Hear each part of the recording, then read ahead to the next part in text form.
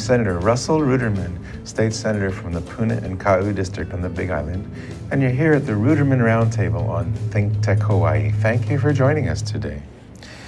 Today, our guest is Paul Achitoff. Paul Achitoff graduated from Harvard College and the Columbia Law School, and for the last 22 years has been managing attorney for the Hawaii Office of Earthjustice, a national nonprofit public interest environmental law firm. Paul practiced business and environmental litigation in private practice in Los Angeles and Honolulu for 11 years before joining Earthjustice in 1994. He's handled a wide variety of public interest environmental matters, such as endangered species, commercial fisheries, water pollution, and stream restoration cases. For the past decade, Paul has focused on addressing problems caused by genetically modified organisms and pesticides. Welcome to the show, Paul. Thanks for joining us. Thanks for having me on the show, Russell. So lately, you've been very uh, involved in uh, defending three of the counties in uh, GMO or pesticide related cases that tell me about that. There's three counties passed bills, each of which was overturned in a court and is now under appeal. Is that correct? That, that's correct. Now, I'm, I'm not representing uh, Maui County or the county of Kauai. I'm representing community groups on Kauai that is defending the Kauai ordinance. I see. And I am representing the county of, of uh, Hawaii. Uh, but I'm not involved in the, the Maui case. Uh, But in any event, um, you're right that uh, each of the counties passed an an ordinance addressing uh, genetically engineered crops in different ways, and the Kauai ordinance also addressed pesticide use uh, in that county. And the lower court, federal court in Hawaii, uh, found that all three of those ordinances uh, were uh, preempted by state and, and federal law and therefore unenforceable. And all of those cases have- were appealed to the Ninth Circuit Court of Appeals. And the Ninth Circuit was in town about six weeks ago, and uh, I and, and other attorneys argued our appeals to try and persuade the court that those ordinances should not have been uh, found to be unlawful. So we're waiting to hear from them. I see. So you've had the trial, you've presented your case, and now you're you're waiting the judgment. Is that correct, or is there more to? No, we're, we're just waiting right now. It could take uh, a few months. It could take more than a few months. It's hard to say. Sometimes the Court of Appeals uh, rules quickly. Sometimes it takes takes longer. So there's nothing to do but wait. Okay, but the process is done except for waiting for the judgment. That's There's right. No more trial to do. What can you tell us about how did that go? Um, I mean, I'm particularly interested in the Hawaii County one, but I'm interested in the whole statewide situation. How did it go to your eyes? I have always felt that the counties have strong arguments, and I obviously uh, Judge Kurren in the case of, of the Big Island and Kauai ordinances, uh, and Judge Mollway in the case of the Maui ordinance disagreed. Uh, nevertheless, I continue to feel that the counties do have the authority to uh, regulate genetically engineered crops. The, the state of Hawaii has no laws whatsoever regulating genetically engineered crops, none at all. And the court's decision saying that notwithstanding that fact, only the state can regulate genetically engineered crops, I believe is unprecedented and simply not supported by the law in Hawaii or anywhere else. We'll see what the Ninth Circuit has to say. Uh, They may disagree, obviously. Very interesting. By the way, thank you for, for uh, arguing on behalf of our counties. And it's an important issue. Now, you mentioned pesticides. I know that the Kauai case was largely involved with pesticide regulation and buffer zones, right? That's right. Tell me, for those who might not know, why is pesticides part of the discussion when we talk about regulating genetically engineered crops? Well, conventional farmers as well as uh, growers of genetically engineered crops or genetically engineered seed crops, as, as is common in, in Hawaii, um, they all use pesticides. Uh, organic farmers don't, or at least the, the ones that they use are quite different from the pesticides that conventional farmers use. Um, but the, the growing of experimental genetically engineered uh, crops is, is a very pe pesticide intensive operation. And if you go over, for example, uh, on, on Kauai, you go to the west side, you drive mile after mile of fields of uh, either experimental crops or commercialized seed producing operations. And they use many, many different pesticides, and some of these are quite toxic.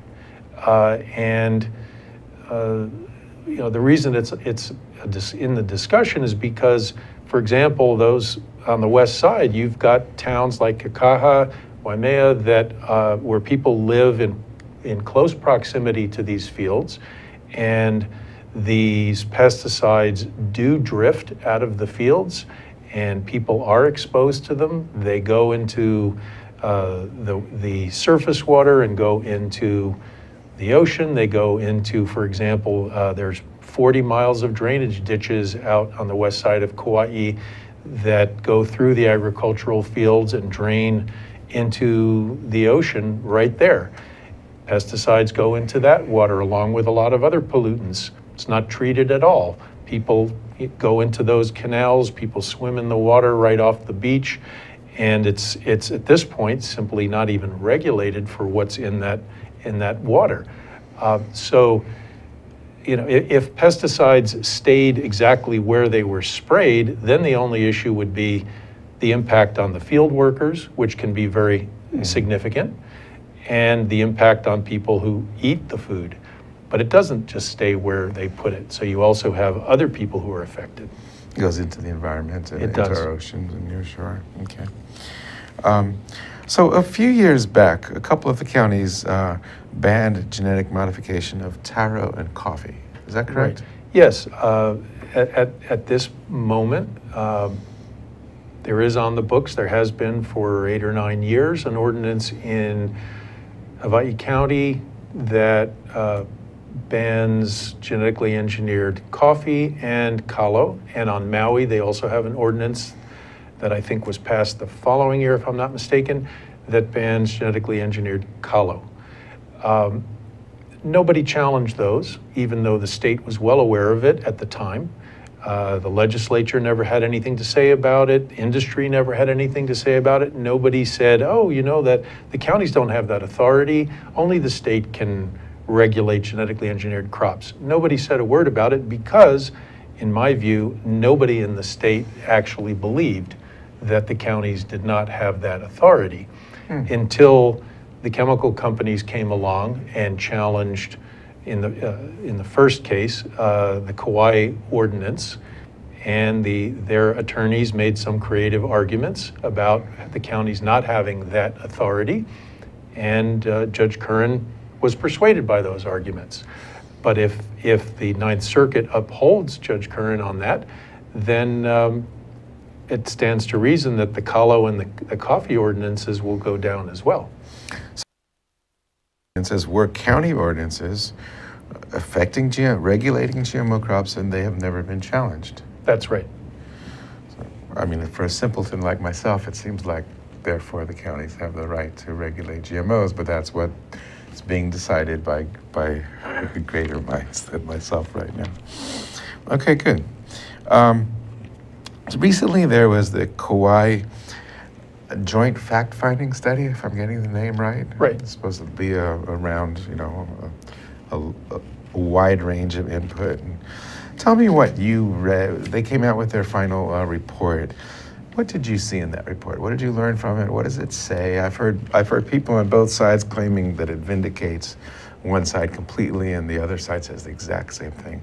What do you read in that report? What is it telling us? What I read in that report is that uh, the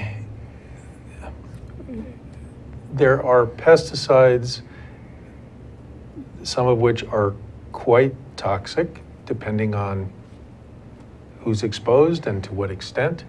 Um, that are being found where legally they are not supposed to be and uh, where they would not be if they had been applied according to the label, which is the law. Mm. Uh, although, unfortunately, the labels are not as protective as they should be, because even if you follow the label, they can get into the environment. But ne- nevertheless, they are found where they shouldn't be. Um, and, and I think a lot of the argument has been well, is that harmful? And what I get from the report is that because the state has not done very much in the way of monitoring or sampling of air, of water, of soil for these chemicals, it's very difficult to answer that question definitively to say that it, no, it's absolutely harmless or it's very harmful. Uh, if you don't have data, it's hard to make scientific determinations. You instead you end up with fears, you have rhetoric, you have so forth. Uh, and so I think the report was quite straightforward in saying that if we want to have science-based uh, determinations about what's going on, the state needs to do a much better job in actually taking samples and analyzing them uh, and not sitting on the sidelines. And, uh, and unless and until the state does that, I don't think either side can say that they are vindicated. Uh, I have heard the Department of Agriculture's perspective being, well, this there, there's no proof here that it's hurting people. To me, that is is a very irresponsible thing for a state agency to be saying, an agency that is responsible for regulating pesticide use uh, on behalf of the state, which is responsible for protecting public health and not just protecting the profits of uh, big ag, to be jumping on this report as if it demonstrates that pesticides in the envir- environment are harmless. The report doesn't say anything like that, and suggesting that it, it does, I think, is just wrong and, and very disappointing. Um, so, so let me clarify. So the report states that there's no clear evidence of harm from pesticides, but it also states that the data that we would need to, to really come to that conclusion is absent. That's that exactly correct? right. Okay. So whose job would it be to go out and begin to collect the data? Would that be the Department of Agriculture, Department of Health, EPA? I, I think that the, that it's primarily on the Department of Health. Okay. And, and I think that uh, they have not been doing as good a job as they should be. Uh, I think that there is a lack of resources being put towards uh, addressing the issue of pesticides in Hawaii, whether on behalf of the Department of Health or the Department of Agriculture. Uh, the Department of Agriculture is responsible for enforcing our pesticide laws, and I think it's doing uh, quite a poor job of that because it simply doesn't uh, devote the resources to it. And whether it's because they don't have the budget or because the legislature has not seen fit to give them the budget or their priorities within the budget they have, the bottom line is they're not doing the job that they are supposed to be doing.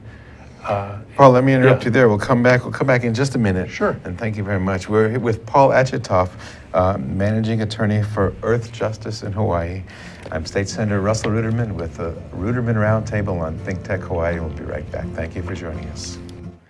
Aloha. This is Reg Baker with Business in Hawaii. We're a show that broadcasts every Thursday at 2 o'clock. We would love to hear from you and you can reach us in several different ways. We have a hotline that you can call in at 415-871-2474, or you can email us at thinktechhawaii.com, or you can tweet us at thinktechhi. Looking forward to hearing from you and seeing you on our next show. Aloha. For a very healthy summer, watch Viva Hawaii. We are uh, here live on Mondays at 3 p.m. and we bring guests like our best health coach, Elena Maganto. Uh, eat well and follow her tips. Viva la comida saludable.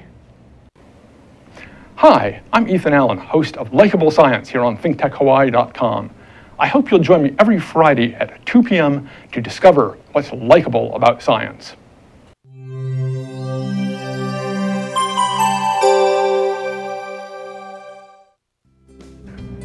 Welcome back. I'm State Senator Russell Ruderman. I'm here at the Ruderman Roundtable with Paul Achitoff, Managing Attorney for the Hawaii Office of Earthjustice.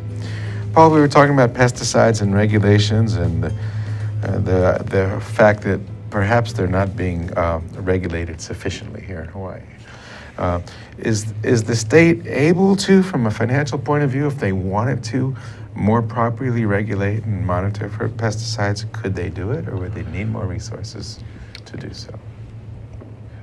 Well, the Department of Agriculture, which has currently uh, the primary authority to enforce pesticide laws in the state, uh, I believe they're understaffed. I don't think there's any question that they're understaffed. Uh, the, the, I believe the department knows it. The EPA certainly knows it. Uh, now, what their budget is and how they're allocating that budget, uh, I don't really think that that is the real question. The question is, how much do they need to do the job? And is the legislature giving them that amount of money? And if they are, why aren't they using it in that, in that way? And if they are not, why don't they? Uh, because there is a certain minimum amount of money that's needed. Uh, Hawaii is one of uh, 49 states that has been given by the EPA primary authority to enforce federal pesticide laws within their state. And EPA has been quite critical of our Department of Agriculture in its failure over the past several years to adequately enforce and investigate pesticide problems in the state. There is a big stack of, of uh, files sitting on the Department of Agriculture's desk that of pesticide uh, issues that have simply not been addressed. And some of these are so old, dating back uh, for almost a decade that the statute of limitations has run out on some of these so that they couldn't be prosecuted even if there were it was shown to be something that should be prosecuted. And the department knows this. Epa has made this very clear.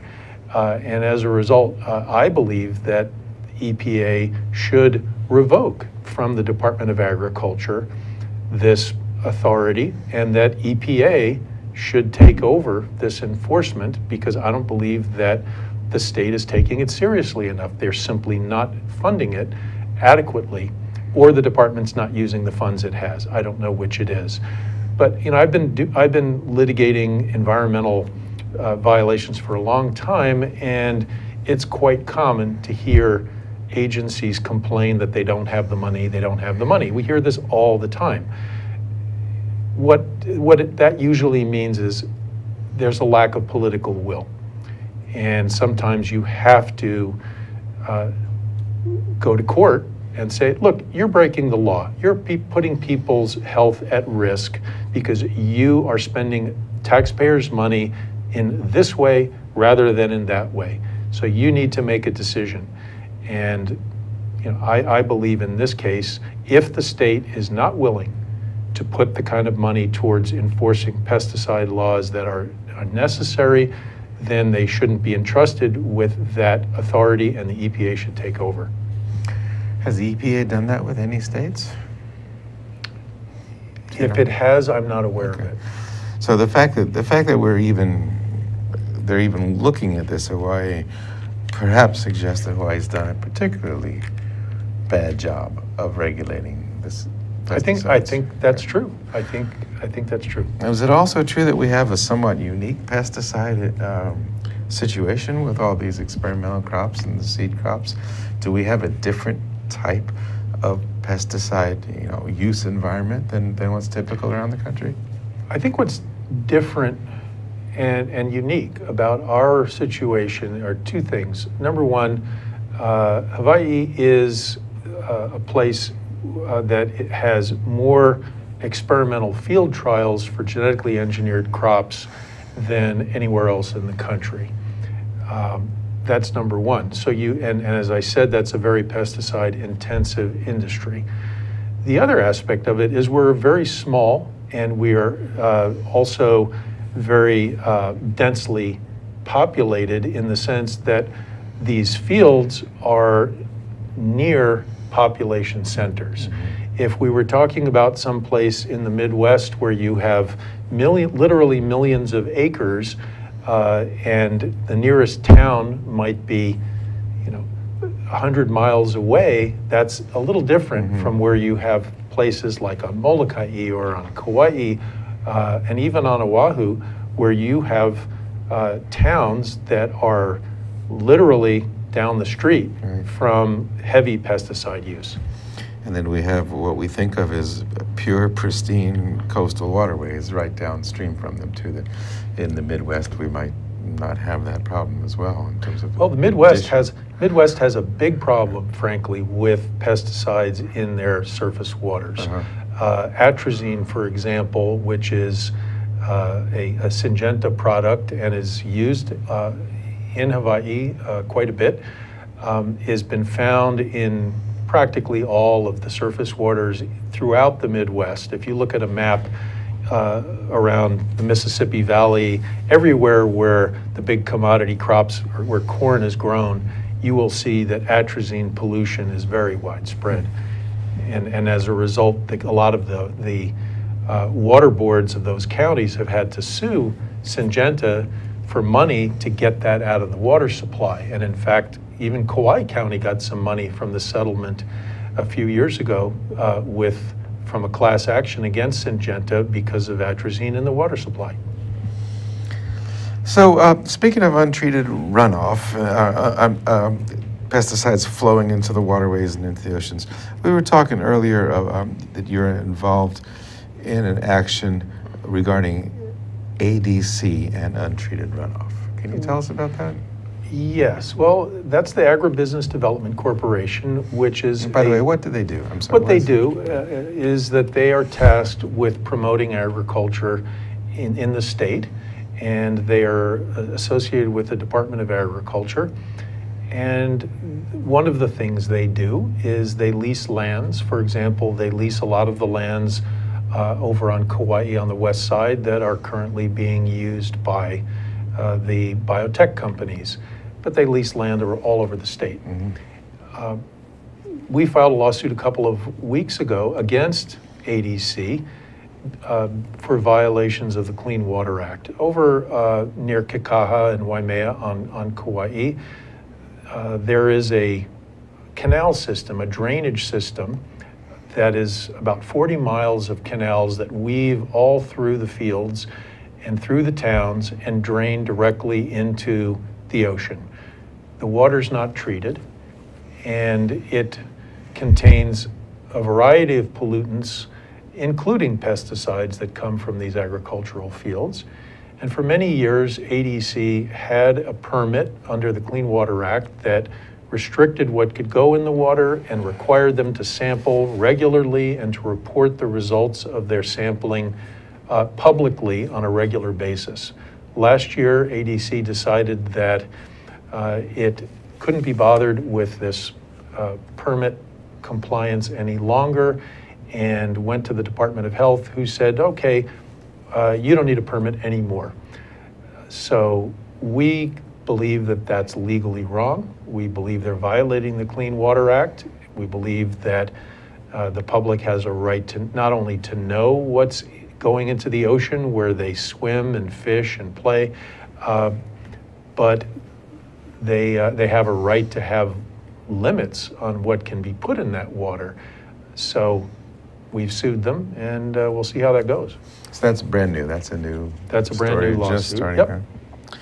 The Clean Water Act. Now that's a federal act, and but they Yes. had a permit from the state Department of Health, or it was a federal. Uh, The permit? state, de- it's, it's, it's a federal permit that is, uh, or a permit that is issued under federal law. The Clean Water Act is a federal law, but the State Department of Health has been delegated the authority to administer the Clean Water Act in certain respects in the state, just as the Department of Agriculture has been delegated authority to enforce federal pesticide laws in the state. Uh, If, if a state agency demonstrates that it has the resources to do the job, then it can get this authority. If it doesn't have the resources, then the federal agencies can take this authority back. Now, the ADC, is it a, is it a, a part of the Department of Agriculture or is it a separate semi-autonomous agency? It, it's, it's, I'm not aware of, of another agency. There may be others within the state that are similarly set up. I don't know of any others, but it is a separate affiliated in certain ways with the Department of Agriculture, the Board of Directors. There's, there are, you know, people sitting on the board of ADC that come from the Department of Agriculture as well as other agencies. So there is a relationship there, uh, funding relationships and so forth, but it is a separate corporation with, with defined tasks. Now, does the ADC, when they lease land, do they make any value judgment of you're going to grow seed crop, you're going to grow flowers, you're going to grow food to be consumed in the state? Do they make do they do they have any kind of mandate to try to help food production in the state, or is it simply a matter of leasing agricultural land to whoever wants it? Well, I think that's a question of how they interpret their mandate. Mhm. You know, they may interpret their mandate as simply uh, leasing it to anyone who grows anything. Um, you know, I think whether that's what the legislature intended, whether that's what's in the public interest, those are different questions. Let me stop you right there, Paul. We're almost out of time. Um, tell me, Earthjustice, uh, how would someone contact you if they want to learn more about you? How can they get involved and, and support what you do at Earthjustice? Well, Earthjustice uh, has a very uh, extensive website, Earthjustice. Uh, just Google Earthjustice and it'll be right there. And it will show what work we're doing in all of our offices around the country. Uh, every case that we file gets represented there on some level. Press releases are, are put up there for people to read, where there are blogs in which we discuss the cases that we're working on. Uh, if people want to donate money, which we always appreciate, there's an opportunity to do that on the website. So I encourage people to check it out and see what we're doing. Well, thank you. As a layperson who cares very much about the environment, I take great comfort in knowing that an organization like Earthjustice exists and that you're as powerful and successful in advocating for the environment as you have been. Thank you very much for joining me today, Paul. Thank you very much, Russell. This is State Senator Russell Ruderman at the Ruderman Roundtable. We're here on Think Tech Hawaii every other Tuesday afternoon at 2 o'clock. You can, uh, you can follow us at Think Tech Hawaii, and we'll see you in two weeks. Mahalo.